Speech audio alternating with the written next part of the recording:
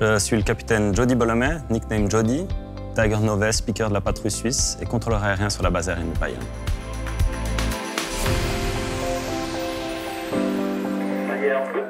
En tant que contrôleur aérien, notre tâche principale évidemment c'est d'assurer la sécurité sur euh, un aéroport, un aérodrome ou dans mon cas une base aérienne militaire.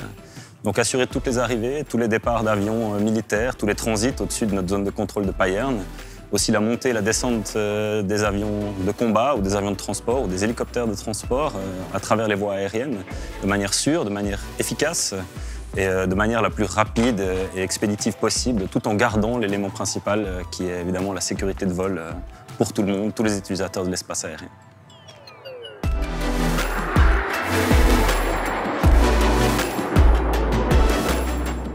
Ma tâche à la patrouille suisse, c'est speaker, Tiger numéro 9.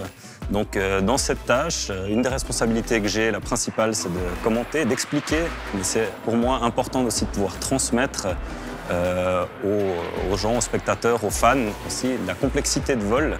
Voler une formation à 6, à ces vitesses-là, sous des facteurs de charge énormes comme celle-là, tout de manière visuelle, c'est pas facile, c'est pouvoir leur expliquer ça, leur expliquer qui sont nos pilotes aussi, les présenter.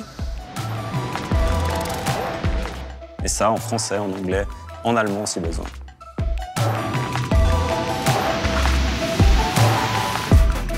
Ce que j'apprécie euh, particulièrement bah, en tant que passionné d'aviation, je ne pense pas qu'on puisse être aussi proche des opérations euh, déjà militaires et en plus euh, d'équipes de démonstration aérienne qui est reconnue dans le monde entier sans faire partie comme pilote. Donc ça c'est déjà extraordinaire pour moi. J'en apprends tous les jours, autant sur le vol que sur les opérations, que sur les procédures.